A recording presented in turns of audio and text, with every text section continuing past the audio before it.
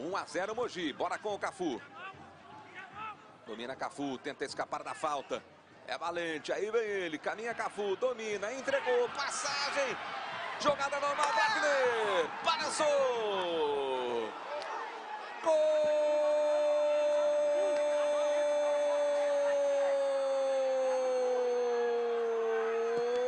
de empate no 15. Alegria do torcedor que grita aqui nas arquibancadas do Romildão. É nisso que eu acredito.